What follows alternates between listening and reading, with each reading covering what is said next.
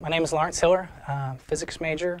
Um, kind of, as you can see, a little bit older student. I've got kids and, and I'm married. Um, recently got out of the Marine Corps about two years ago, uh, infantry, uh, hoorah. But um, this class has been different and un unique for me because, um, you know, before I joined the Marine Corps, I was actually at UT for a little bit. Um, didn't do very well, kind of a floundering student, uh, didn't, didn't focus very well.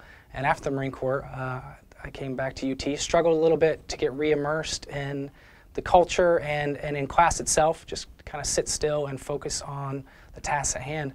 This new format was especially helpful. Uh, I had a crazy schedule. As you can imagine, having kids and a family and work. So at any point, could look at lectures online, um, rewind, watch them, absorb as much as I can, kind of take my own notes, um, and then come to class and ask as many questions as I wanted, and it helped me tremendously.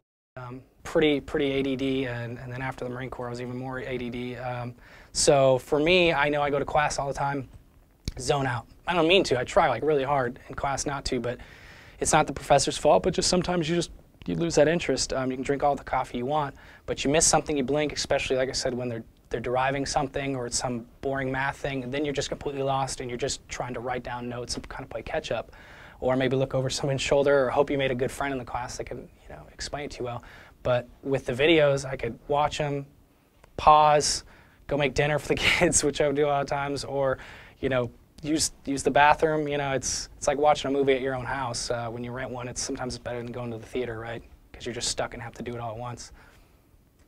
Um, there was one point in the semester where my son, um, he, ha he has MCAD, some um, you know metabolic deficiency, so that was that was a big deal. He wasn't eating for days, so he had, long story short, had to go to the hospital um, for about a week. And that was just kind of devastating. I had to trade off. My wife couldn't get out of work, so I had to be there, um, just draining. I couldn't really focus on what I was doing.